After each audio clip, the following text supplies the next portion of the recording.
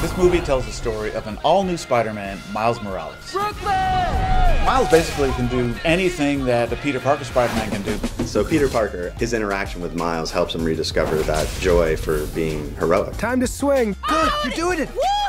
Another iconic Spider-Man character is, of course, Gwen Stacy, aka Spider-Gwen. Hey guys. Okay, who are you? She brings a little bit of experience and edge. Come on. How many more spider people are there?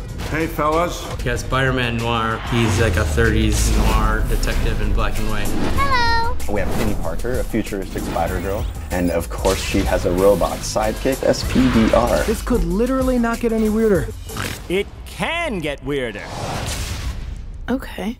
Spider Ham is a very good fighter. He's a very serious Spider Man. Let's go. We all have to choose to be heroic in whatever way is unique to us. And that's ultimately what Miles figures out.